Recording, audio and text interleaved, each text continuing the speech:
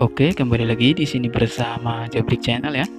E, kali ini saya akan memasang e, lampu strobo tumpuk ya yang ada di depan kaca bus ini.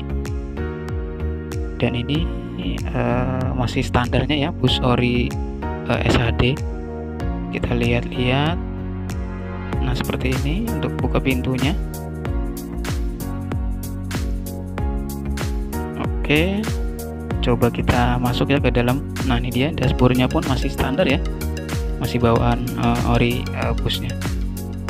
Oke untuk hasilnya nanti akan seperti ini ya. Nah seperti ini.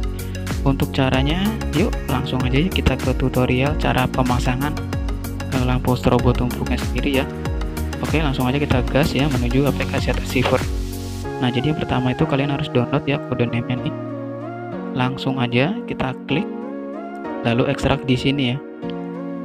Oke karena di sini dibutuhkan password kita masukkan dulu ya passwordnya. Oke kalau sudah selesai ya. Lalu oke. Nah ditunggu sampai selesai. Nah ini dia yang di atas ya. Kita lihat. Nah ini dia ada banyak juga ya kode name nya oke langsung aja ya kita pasang klik memori perangkat lalu ke Android lalu ke OBB lalu ke nya ini OBB nya diklik aja ya. Lalu pilih lihat lalu ke aset eh, ke bin ke data lalu klik tanda titik tiga di atas. Nah kalau sudah pilih tambah tambahkan berkas ya. Nanti eh, kalian cari ya file yang tadi. Kalau saya tadi di folder download ya ini dia. Kita yang di atas ya yang sudah diekstrak ini ini klik aja semuanya ya. Ini klik semua. Kalau sudah klik tulisan tambah ya. Tulisan ya. Nah nanti dia akan e, menambahkan otomatis seperti ini ya.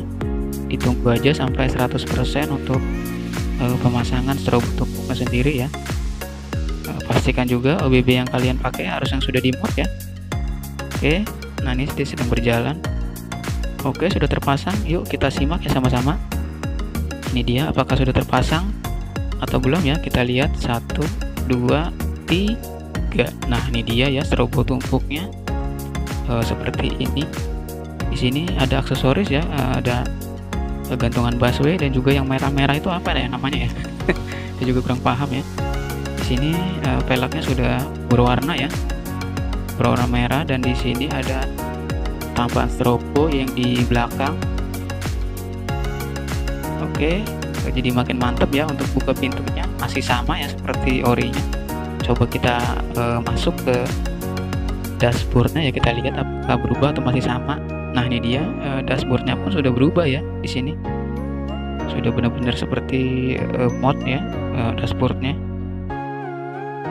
Jadi uh, makin mantap. Ini cocok ya kalau di pakai narik malam-malam. Jadi lampunya kerap kerlip ya seperti ini.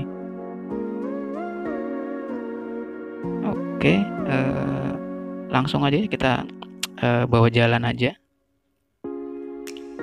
Kita tes aja muter-muter di sini ya uh, di uh, sekitaran uh, Wonogiri. Oke, kita uh, keluar dari terminal.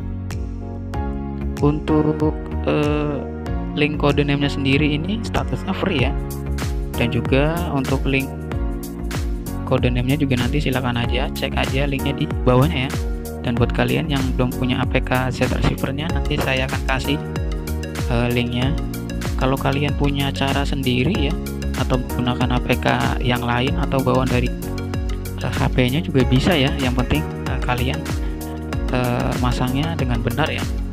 Dan pastikan juga OBB yang kalian pakai itu harus yang sudah di karena kalau OBB masih original itu biasanya susah ya dan selalunya gagal untuk dipasang ya. Jadi buat teman-teman yang selalu gagal eh, pastikan ya OBB yang kalian pakai harus yang sudah di mod biar 100% anti gagal ya masang eh, kode name sendiri ya. Oke jadi makin mantep betul ini ya. Uh, jos gandos pokoknya. Oke eh, sekian dulu aja ya untuk video kali ini. Jangan lupa dukungannya dengan cara di subscribe uh, di like share komen juga. Ditunggu nanti untuk video-video terbaru dari saya lagi ya. Oke? Okay? uh, terima kasih